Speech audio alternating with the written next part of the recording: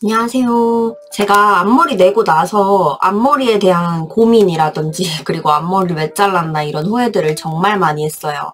그래서 이제 저같이 앞머리 내신 분들 중에서 이렇게 앞머리가 시간이 지날수록 떡지는 분들 아침에 머리 너무 기신 분들은 머리 말리는데도 시간이 너무 오래 걸리니까 빠르고 간단하게 앞머리만 감는 경우 되게 많잖아요. 여자분들 진짜 공감할 거거든요. 그렇게 빠르고 간편하게 좀 앞머리 클렌징을 원하는데 앞머리만 이렇게 좀 이렇게 씻었을 때 냄새 날 수도 있으니까 향기가 좀 좋았으면 좋겠다. 그리고 좀 빨리 나는 앞머리를 세정하고 싶다. 좀 떡지고 냄새 나는 앞머리 개선하고 싶다. 하시는 분들한테 너무 추천하고 싶은 요거. 요거 소 내추럴 제품이거든요. 이게 소 내추럴 Bangs Clear Setting Stick이라고 해가지고 여기 앞머리를 조금 깨끗 하게 세팅을 해줄 수 있는 그런 스틱이라고 보시면 돼요.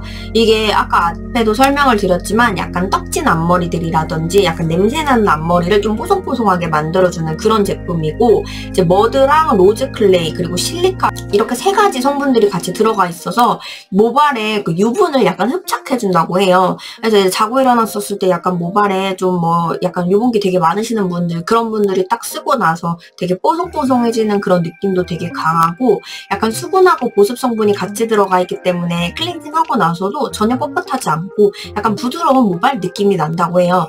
저도 앞머리 내고 나서 어, 이렇게 많이 사용하고 있기도 하고 보통 이틀에 한 번씩 머리를 감는 게 제일 좋다고 하잖아요. 근데 머리도 제가 지금 머리가 긴 것뿐만 아니라 붙임머리이기 때문에 머리 감기도 너무 힘들고 아침마다 말리는데도 시간이 너무 오래 걸리니까 이런 데는 좀 그냥 냅두고 여기만 감는 경우도 있거든요. 그럴 때 쓰면 좋을 것 같아서 이렇게 앞머리 스틱 을 사용하고 있는데 이런 식으로 스틱 타입으로 이렇게 돼 있어요. 이거를 여기다가 이렇게 비벼서 사용하면 되는데 우리 일반적으로 머리 감을 때처럼 이렇게 앞머리만 잡아가지고 여기만 물을 묻혀주고 그 다음에 여기에다가 이거 스틱을 막 발라줘서 거품을 내고 그 다음에 여기만 씻어주시면 돼요. 제가 이거 실제로 사용하는 방법 보여드리면서 어떤 느낌인지 그리고 현재 제 이렇게 떡진 앞머리들이 어떻게 변하는지까지 한번 직접 사용해보고 그런 느낌들이라든지 그걸 다시 한번 설명을 드릴게요. 앞머리에다가 한번 써볼게요. 사실 앞머리가 아침에 일어나면 이런 식이다 보니까 앞머리 씻어줘야 돼요. 여기에다가 먼저 써볼게요.